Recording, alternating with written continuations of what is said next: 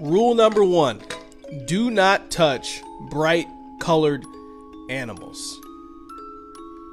Now, what we're looking at here is a blue dragon sea slug, and like I said, you should never touch them. Blue dragons love eating this highly venomous Portuguese man o' war. They have a painful sting that can easily send a human to the ER or even be fatal. This tiny one inch dragon repurposes that venom to use for themselves against predators. So like I said before, never touch bright animals in the wild. Peace and love, baby. I know Shark Week already passed, but I want to talk about hammerhead sharks because they're very interesting.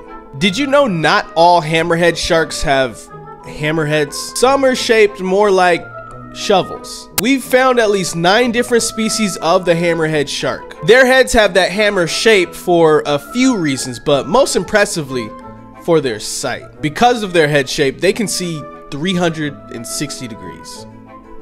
Also, because their dorsal fin is so long, they prefer to swim sideways.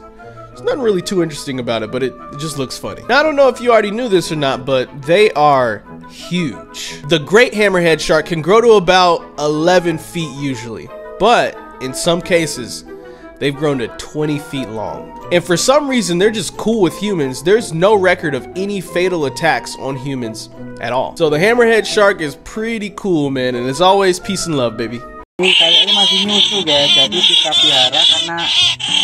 I know this looks like someone played Love Doctor between a seal and a bat, but it's actually just a flying lemur. This one in specific, I think, is the Sunda flying lemur. They can be found in Southeast Asia ranging from Indonesia to Singapore. Now they're called flying lemurs, but they don't actually fly, they glide. Usually animals with superpowers like this also have super problems. Turns out that they're they're not the best on land. They're actually pretty vulnerable when they're on land so they usually just climb and glide from tree to tree. We know that mammals don't have wings, but these guys have a furry membrane called patagium. Patagium. Well, it's called something with a P. This fur-covered membrane connects from their face to their claws all the way down to their tail. And that's kind of the story of the flying lemur. And as always, man, peace and love, baby. Rule number one in the wild. Do not touch shiny animals. Exhibit A, the golden poison frog. Got poison in its name. They're only two, they're like this big, but they hold enough poison to take out 10 men at one time. Their poison's found on their skin, so they're toxic to touch. Their poison permanently prevents your nerves from impulsing, which causes heart failure, and you're going in about 10 minutes. There's no cure either. Exhibit B, the coral snake. They're venomous, and the problem is their venom's mostly a neurotoxin, and it takes about 12 hours for any symptoms to show. But once you start feeling it, you feel it. You're gonna start feeling drowsy, nauseous, start vomiting, then you won't be able to breathe, and there's more. Slurred speaking, double vision, droopy eyes, then you start feeling weak, and then you're paralyzed. And last but not least, the Blue Dragon Sea Slug. If you don't know what this is, that means you don't follow me and you didn't watch my video a few days ago, so go ahead and fix that. Peace and love, baby. You know, I'm actually glad that we're finally having this talk. African wild dogs are the greatest hunters in Africa. Nope, not lions, hyenas, the African wild dog. These intelligent predators roll in packs of 20, they're great communicators, and they like they like sneeze to talk. So if you're in the wild and just so happen to be on their radar, the last thing you want to hear is a sneeze. What make them such great hunters? Power in numbers, they strategize, and they never get tired. They literally run 40 miles an hour and never get tired. They can run for over three miles. Just imagine 15 to 20 of these guys running after you for three miles at 40 miles an hour. When hunting, they have an 80 to 85% success rate. To put that in perspective, cheetahs have a 58 and lions have a 25% success rate. Oh yeah, they're the greatest hunters in Africa. And as always, man, peace and love, baby. Yes, it's real. Yes, we have to talk about it.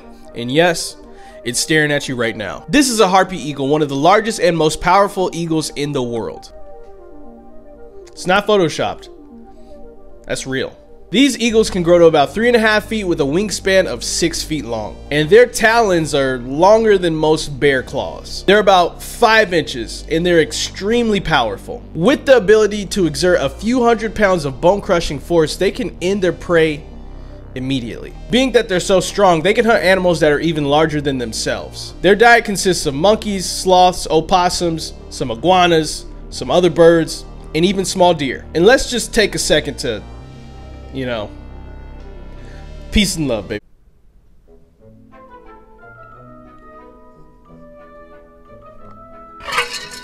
That nightmare on a stick is actually a golden crown flying fox, which is the largest bat in the world. These oversized bats have a wingspan of 5 foot 6, which is basically the same height as me. They get their name the flying fox because, yeah, they can be found in South Asia, Africa, some oceanic islands in India, and of course, Australia. And they don't run alone. Sometimes they roll in packs of 200,000. Though they may look a little vicious, they're very vital to their ecosystem. Pollen sticks to the fur on their bodies, which they transfer over to other plants while they move during the day. But they're also just kind of weird, bro. They don't use echolocation like other bats. They're almost completely vegetarian and they mate upside down. There's always been peace and love, baby.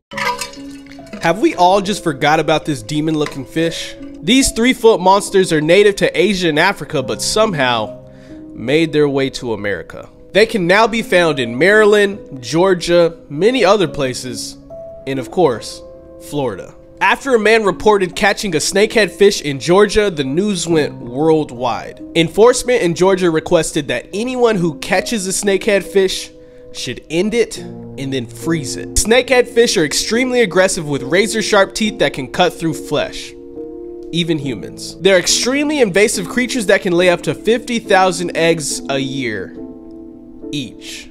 And on top of that, they can live on land without water for like three whole days. They can't walk, but they can kind of slither on land. So basically what I'm telling you is there's a chance that we have an unlimited supply of invasive creatures that can kind of walk on land, have sharp teeth, and dang, I thought I had a third one, but I guess that's it. All right, peace and love, baby. Okay, it's time that we cleared this up once and for all. You know that term blind as a bat, right?